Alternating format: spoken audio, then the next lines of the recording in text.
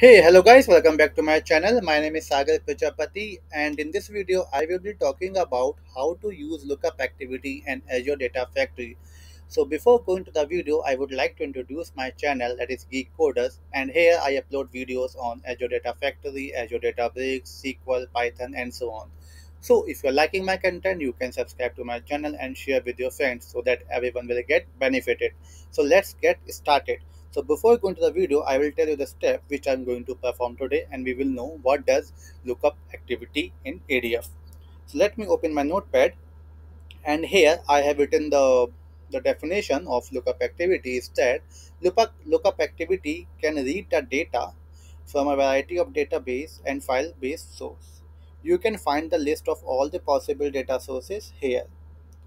Okay, so like you know we can use blob we can use uh, gen 2 we can we can use gen 1 database snowflake everything we can use it in this in this activity okay?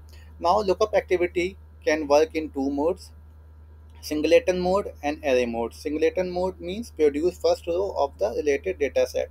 Suppose suppose we have this data set okay? This we have this uh, csv file and i want to retrieve only the date only the only the column name okay? So we can use this lookup activity. Suppose you want to perform you want to check whether whether this file this file has has a proper has proper schema or not.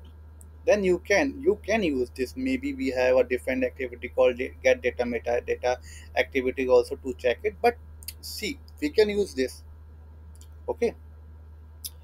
And if i go back to my notepad the second mode is array mode that is produce the entire data set.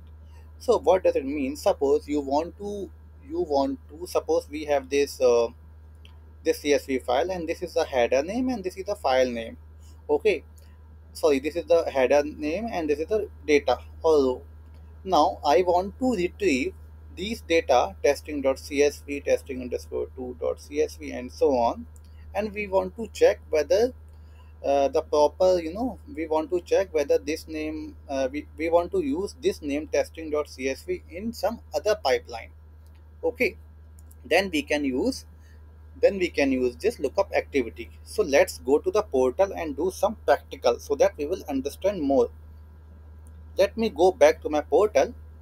And here if you see in the source container I have uploaded this testing underscore metadata.csv and here let me use my lookup activity.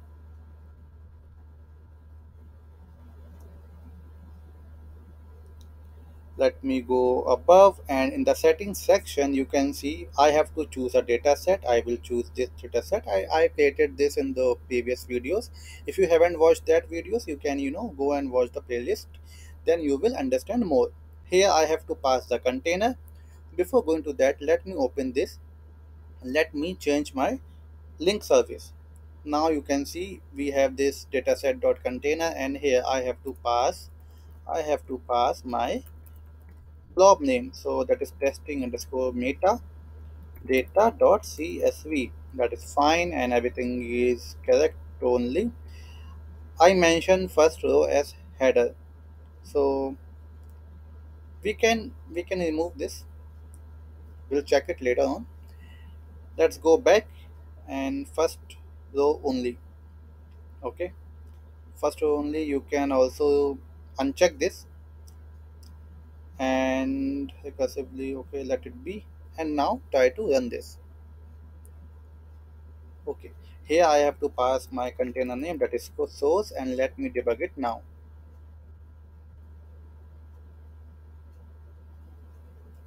It is running it, passed so if I click on this output button then you can see then you can see we have this uh, you know we have the file name testing.csv testing underscore 2.csv testing underscore 4.csv and so on. Everything we have it in one in one uh, one loop or one array. Okay? That means we have checked the array mode produce the entire data set now we want to produce first row of the related data set. So how would we do that? It's very simple. Go back to this. Check first row only. This option when we checked it and when we debug it then you can see we will get only first. First header first row that is what? That is file name okay i want to check only this okay. What if if i go to this data set and if i check this method this option first row as null. We'll see.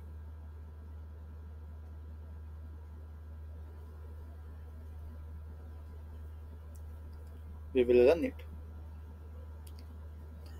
And let me go back to this testing underscore metadata.csv and let me edit it. And I will just put one thing here. Let me put some null.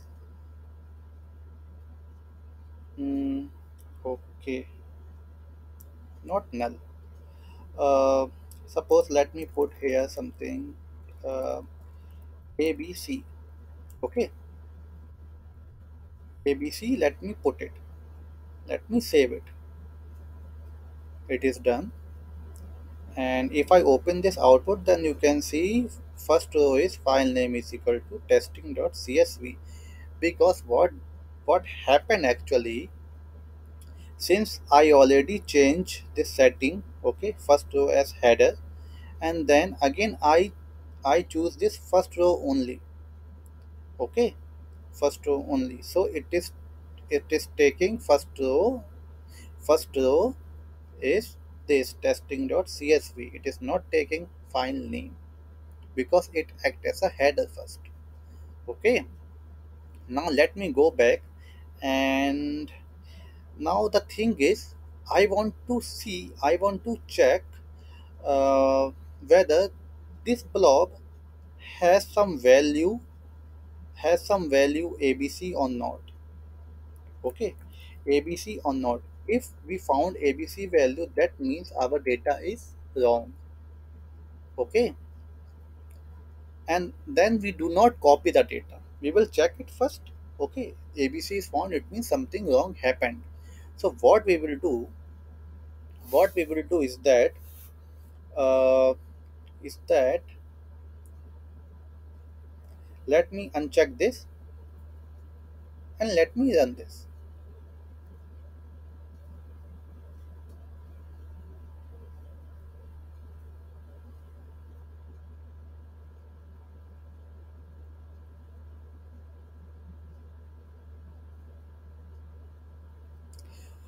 it is taking some time. Okay let it be. It is in progress now. If I go to this output option now you can see we have file name abc okay now the question is now you now my question is I want to check whether this column has ABC or not. If this column has ABC, that means the source data is wrong. Now, and we do not want to run our copy activity. Suppose we have a copy activity present here and it is attached to this. Now, if ABC found, I do not want to copy the entire data set into our layer. So, how would you do that? so this thing i will tell you in next video upcoming video and i hope you will understand this concept and you understood this, the, this concept. And i hope uh, whenever i upload video on this you will understand. And it is very tricky part not tricky part. I will give you the hint uh, is that you can see we want to retrieve this these things and we want to use if else condition. And we will we will check whether file name is, is equal to abc or not. We will use here for loop and yeah for loop only we will use and then we will use if else condition. Okay. So that's it for today video. I hope you have liked the video. If you do do subscribe and share